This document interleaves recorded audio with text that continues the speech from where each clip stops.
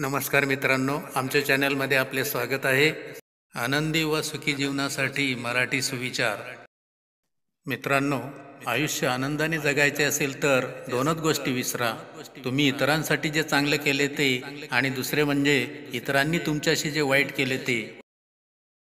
जो माणूस नेहमी स्वतःचे आत्ममूल्यमापन करीत असतो तो नेहमी सुखी व प्रसन्न असतो पण जो माणूस नेहमी दुसऱ्यांचे मूल्यमापन करीत बसतो तो नेहमी दुःखी व निराश असतो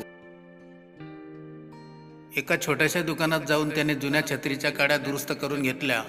आणि मग तो एका मोठ्या दुकानात शिरला तिथे मात्र त्याने रंगबेरंगी रेनकोट घेतले माणूस म्हणून तो गरीब असेलही कदाचित पण एक बाप म्हणून तो खूप श्रीमंत वाटला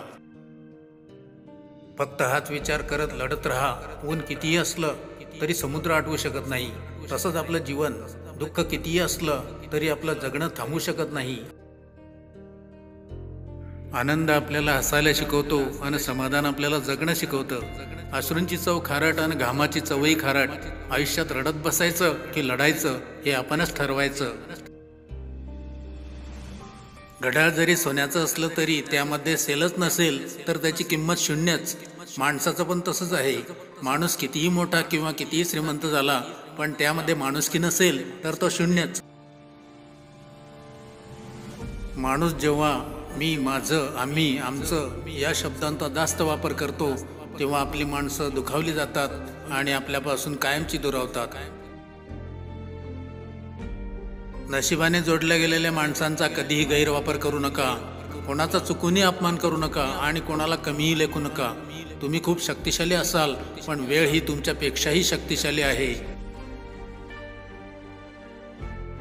आयुष्यात जेव्हा आपल्या मनासारखं काहीच घडत नाही तेव्हा ते विधात्याच्या मनासारखं घडणार असतं हे लक्षात ठेवा म्हणून कधीही निराश व दुःखी होऊ नका ज्यांची स्वप्ने दमदार असतात तेच आपल्या ध्येयापर्यंत पोहोचतात निवळ पंख असून काही फरक पडत नाही आपल्यात जिद्द व चिकाटी असेल तरच उड्डाण सफल होते रागाला जिंकण्याचा सर्वात प्रभावी उपाय म्हणजे मौन अहंकारापेक्षा विनम्रता अधिक मौल्यवान आहे अपेक्षांचं ओझ कमी बाळगलं तर जीवनाचा प्रवास अधिक सुखकर होतो जी माणसे तोंडावर आपली स्तुती व मागे आपल्या विरोधात बोलतात ती कधीच आपली नसतात म्हणून अशा माणसांवर कधीच विश्वास ठेवू नका परंतु जी माणसं तोंडावर आपल्या चुका दाखवतात किंवा स्पष्ट बोलतात व मागे आपले गुण गातात तेच खरे आपले विश्वासू साथीदार असतात पण म्हणतं मन फक्त शब्दांनीच दुखावलं जातं कधी कधी कोणाचं गप्प राहणं पण डोळ्यात पाणी आणतं कडू औषध आपण लगेच गिळून टाकतो पण गोड चॉकलेट मात्र चगळून चगळून खातो आयुष्याचे पण असेच आहे वाईट व दुःखद क्षण लगेच विसरा आणि आयुष्यातल्या चांगल्या क्षणांचा भरभरून आनंद घ्या आयुष्यात गैरसमज न होण्यासाठी गुणकारी औषध म्हणजे कानापेक्षा डोळ्यावर जास्त विश्वास ठेवा मानवी नात्यात जर सर्वात मोठा शत्रू कुणी असेल तर तो म्हणजे गैरसमज जुनी लोक भावनिक होती म्हणून नाती मनापासून जपत होती आता लोक प्रोफेशनल आणि प्रॅक्टिकल झाली फायदा असेल तरच नाती बनवू लागली बोलताना शब्द जपून वापरा कारण शब्द तलवारीपेक्षा जास्त धारदार असतात फरक इतकाच की तलवारीने मान तर शब्दाने मन कापले जाते एखादी वस्तू वापरली नाही की ती गंजते आणि जास्त वापरली की झिजते काही झालं तरी शेवट ठरलेलाच आहे मग कोणाच्याही उपयोगात न येता गंजण्यापेक्षा इतरांच्या सुखासाठी जिजणं केव्हाही चांगलं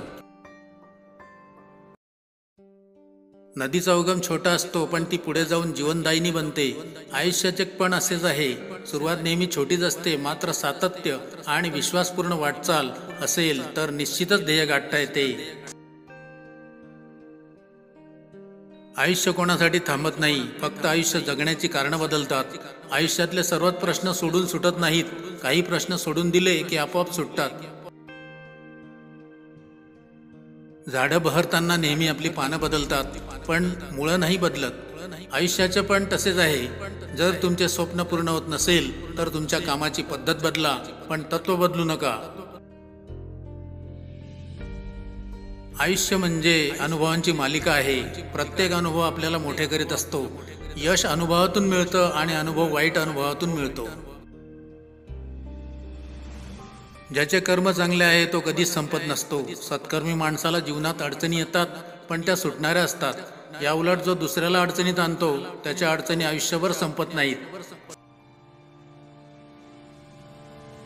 आयुष्य आनंदाने जगायचे असेल तर दोनच गोष्टी विसरा तुम्ही इतरांसाठी जे चांगले केले ते आणि दुसरे म्हणजे इतरांनी तुमच्याशी जे वाईट केले ते वाईट सवयींवर विजय मिळवा नाही तर त्या तुमच्या पराभव करतील कधी कधी तोंडात येईल ते बोलण्यापेक्षा मनात येईल ते बोलणं चांगलं असतं तुम्ही तुमच्या मुलांना सद्गुणी बनवा हे गुणच त्यांना आनंदी करू शकतात सोने किंवा संपत्ती नव्हे आपण जे देतो तेच आपल्याकडे परत येतं त्यामुळे चांगलं द्या चांगलंच मिळेल काही वेळा आपली चूक नसतानाही शांत बसणं योग्य असतं कारण जोपर्यंत समोरच्याचं मन मोकळं होत नाही तोपर्यंत त्याची चूक त्याला लक्षात येत नाही एखाद्याला जळते निघारे फेकून मारायला जाल तर चटके तुमच्या हातालाच बसणार संतापाचं पण तसंच आहे डोक्यात एखाद्याबद्दल संतापाचे निखारे फुलले तर त्याचा त्रास तुम्हालाच होणार Thanks for watching video. Subscribe and like our channel for watching art, craft, creativity, best positive thoughts on life, Marathi Suvichar, poems on life, educational video, maths tricks, world painting, cartoon tutorial, simple craft for all festival. Thanks for your valuable support.